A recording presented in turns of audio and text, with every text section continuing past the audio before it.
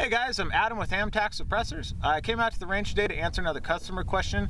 Uh, the person wanted to know what suppressor do we recommend for 224 Valkyrie? And we honestly didn't have an answer for him because we've never shot one of our suppressors on a 224. It's a really new cartridge still, and there's only a few companies making rifles for them. Uh, luckily, our friends at JP are one of them, and they sent us a beautiful uh, SCR-11 that has the non-reciprocating side charging handle on it. Uh, if you ever get a chance to shoot one of these things, try it out because it is beautiful. Uh, unfortunately, this one in particular has a pretty long gas system on it, which means there's not going to be enough exposed barrel there to use one of our over barrel suppressors.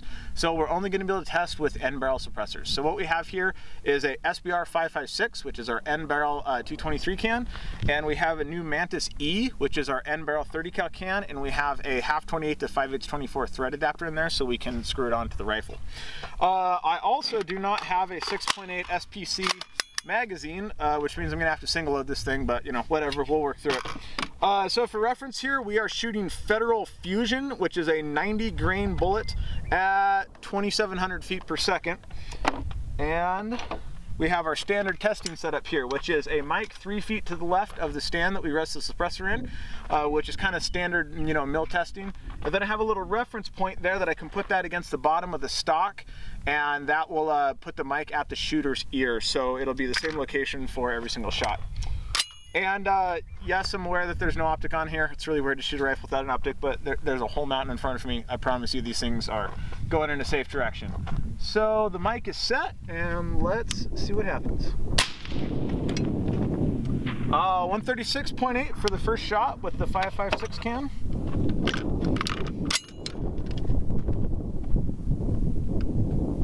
And we're just gonna do three at each location with each can. Uh, 135.6 because we don't have a whole lot of ammo.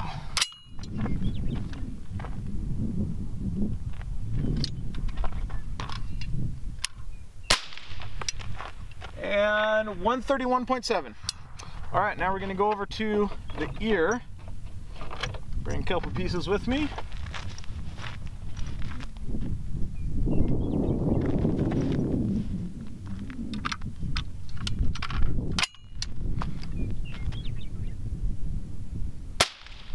Like I said, there's a whole mountain down there, I promise you. 131 or 130.1 for that one.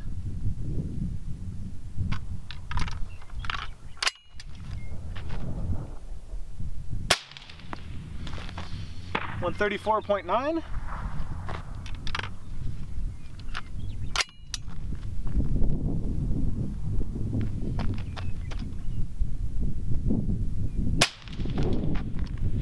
And 134.7. So, empty, and now we're gonna take off this guy, we're gonna put on the Mantis suppressor. So, it'll be interesting to see what happens here. Uh, they're very different baffle structures. The 556 suppressor is a much more closed baffle structure. It's really pressure sensitive, uh, but it works great for um, pretty much everything up to a 22-250 that we've shot it on. Uh, the 30 cal suppressor, because it has to work on everything from a 300 blackout to 300 Win Mag, a little bit more open baffle structure, a little more turbulent. And uh, we'll see how it does here.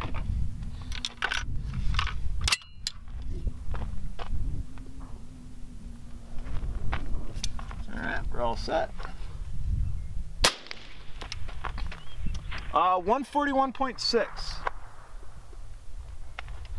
So off to the side, it looks like it's probably going to be a few decibels louder.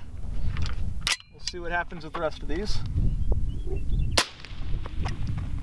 Uh, 136.7.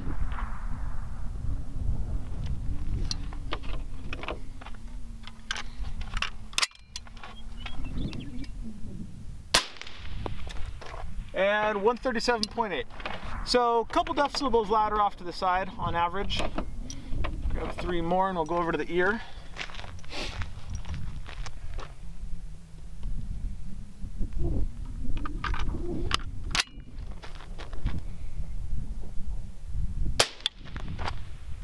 Uh, 130.2.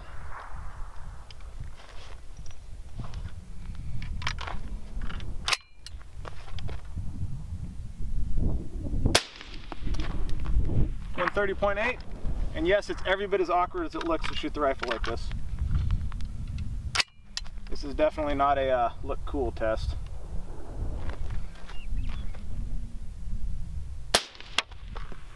And 132.5. Luckily there's about zero recoil in this thing. So, there it is. Um, pretty darn similar at the ear uh, within a decibel or two. Threshold for human hearing is about three decibels. So anything beyond three decibels, you can usually tell the difference. Most people, once you're within uh, inside of three, about two decibels, most people cannot actually tell which shot is louder than the other one. So, um, man, I mean, it sounds great. Uh, I would probably recommend the 5.56 can if you're only gonna run it on this rifle. So if you it's one of those, you know, what suppressor is best for you, right? If you're gonna run it on a bunch of stuff, definitely go with that Mantis E. You can shoot that thing all the way up to a 300 Win Mag and you can shoot it on this guy. It's gonna suffer a little bit in performance off to the side, but at the ear it was pretty darn close. And uh, just for frame of reference here, show you guys what 132 decibels sounds like. That's 137. It's pretty nice. So if you guys have any questions about any of this, uh, go ahead and leave them up in the comments. And for anything else, you can visit us at amtacsuppressors.com.